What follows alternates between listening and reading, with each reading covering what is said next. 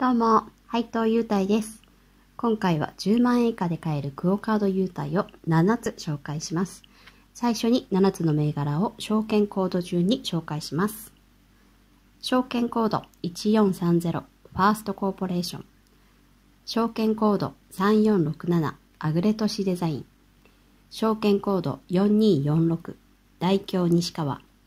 証券コード6570共和コーポレーション。証券コード9760進学会ホールディングス。証券コード8881日清グループホールディングス。証券コード9405朝日放送グループホールディングス。以上7つです。動画の最後に私なりのランキングを紹介しますので最後までご覧ください。では早速7銘柄がどのような会社か簡単に説明します。ファーストコーポレーションは首都圏を軸にマンション建設を展開しています。用地手当から建築まで一貫した方式に強いです。アグレット市デザインは東京と神奈川にデザイン性を高めた中価格帯の戸建て分譲を展開しています。土地選びから絶景、建築、アフターサービスまでを自社一貫体制でやっています。大京西川はインパネ、バンパー、バックドアなど自動車の樹脂部品、樹脂部品を製造しています。マツダとダイハツが多いです。共和コーポレーションの主体はアミューズメント施設の運営と機器販売でトップ級の業界シェアを誇ります。店舗展開は長野や北陸です。新学会ホールディングスは地盤が北海道です。主力は集団指導塾の北大学力増進会です。城南進学研究所と学研ホールディングスと資本業務提携をしています。日清グループホールディングスは東京と神奈川を中心にマンションを展開しています。管理や建設などの関連事業も強化中です。朝日放送グループホールディングスは大阪が地盤の民間放送でテレビ朝日の系列です。探偵ナイトスクープを制作しています。住宅展示場の大手でもあります。会社の説明は以上です。次にいくらで買えるのかを見てみます。2020年2月21日の株価で100株買う場合です。大京と朝日放送が7万円台、他の5つはすべて5万円台です。購入方法によってはここに手数料がかかります。どれも10万円以下で手軽に買えます。次に株主優待の説明をします。当然すべてクオカードがもらえますので、もらえる額面を紹介します。ファーストは1000円分です。ちなみに100株ではなく1万株保有だとたったの1000円分アップの2000円分です。アグレット紙は1000円分。大京はクオカード500円分。ちなみに3年以上保有だと500円アップの1000円分になります。今日はは1000円分。進学会は1000円分。ちなみに学習塾やスポーツクラブで使える優待券ももらえます。優待券が使えるスポーツクラブは札幌市にしかありません。日清は1000円分。クオカード以外にもカントリークラブの割引券などももらえます。朝日放送はクオカード1000円分。500円分が年に2回送られてきます。以上です。次に株主優待の利回りを見てみます。一番高いのが進学会の2%。1%台がファースト、アグレート市。今日は日清、朝日放送、大京はちょっと低めの0.7%。次に配当利回りを見てみます。過去の配当金ではなく予想の配当金の利回りです。一番高いのが大京4.1%。株主優待が低めな代わりに配当金が多いです。3%台がファースト、アグレート市、進学会、日清。2%台が共和と朝日放送。株主優待と配当金の総合利回りを見てみます。高い方から順にアグレート市5.4%、日清5.3%、ファースト5.1%、進学会5%、大京4.8%、今日は4.6%、朝日放送3.9%、この7つの中では3.9%で朝日放送が一番低いですが、3%台であれば十分な利回りだと思います。次に時価総額を見てみます。多い方から順に大京約150億円でダントツ。朝日放送約300億円。日清約250億円。進学会約100億円。ファースト約80億円。今日は約40億円。一番少ないのはアグレート市で約30億円です。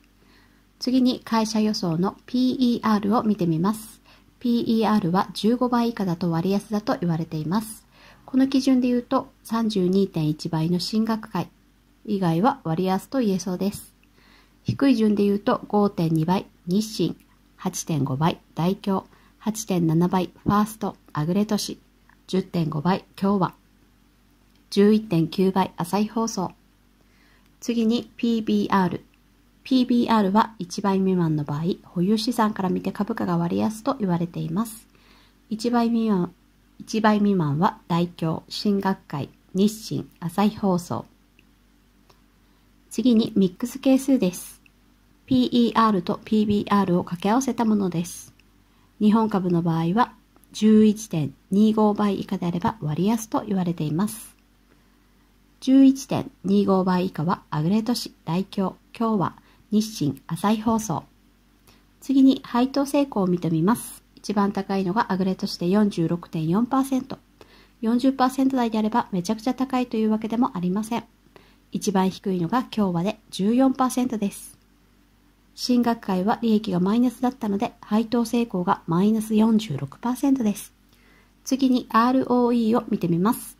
2014年に公表された ROE 経営の先導役伊藤レポートによれば8%を上回る ROE を達成すべきとのことです。8%以上はファースト、アグレート市、大京、共和です。新学会はマイナス利益なので ROE はマイナスです。ROE のデュポン分析を見てみます。最初に純利益率です。ほとんどが4%から7%です。アグレ都市が低めで1.6%。進学会はマイナス利益です。次に総資産回転率。一番高いのがファーストの1.5回。一番低いのが進学会の0.2回。次に財務レバレッジ。アグレ都市が高めで5.2倍。簡単に言うと借金の割合が高いということです。これで利益率も高ければ借金を使って利益を上げているということになりますが、上がれ年の利益率は他よりも低いです。財務レバレッジは低めが良いと思います。ROE については以上です。次に自己資本比率。総資産のうち返済不要の自己資本がどれだけあるかの割合ですね。アグレト市が19.2%と低めです。たった今 ROE の財務レバレッジで話した通り借金が多いということです。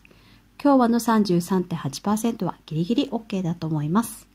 進学会が77.3%とダントツで高いです。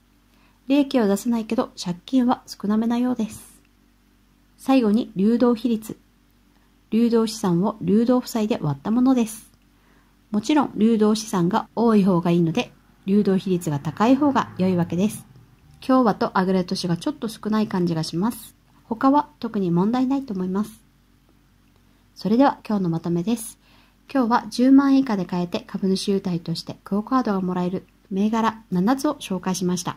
ファーストコーポレーション、アグレット紙デザイン、大京西川、共和コーポレーション、進学会ホールディングス、日清グループホールディングス、朝日放送グループホールディングスの7つについていくらで買えるか、株主優待利回り、配当利回り、総合利回り、時価総額、会社予想の PER、PBR、ミックス係数、配当成功、ROE、純利益率、総資産回転率、財務レバレッジ、自己資本比率、流動比率、以上を考慮しての私なりのランキングは、7位、アグレート市、6位、進学会、5位、今日は、4位、ファースト、3位、朝日放送、2位、日清、1位、大京です。アグレ都市は総合利回りが一番いいですが、借金が多いというのと、配当成功が少し高めということで最下位です。6位の進学会は利益を出せないという致命的な点がありますが、自己資本が多いという点でアグレ都市より上です。共和とファーストは ROE が高いのにミックス係数が高めなのが惜しい感じです。上位3つはミックス係数が低く、純利益率が高め、自己資本比率が高めという点が素晴らしいです。1位の代表は3年以上継続保有だと額面がアップするという点がとても良いです。それでは今日の動画は以上です。今後も皆さんに役立つような株主優待の情報などをバンバン発信していこうと思います。情報を見逃さないようにチャンネル登録お願いします。あと、高評価してもらえるとモチベーションがめちゃくちゃ上がりますので、ポチッとお願いします。ちょっとした内容でもいいのでコメントもらえると嬉しいです。では、また次の動画で。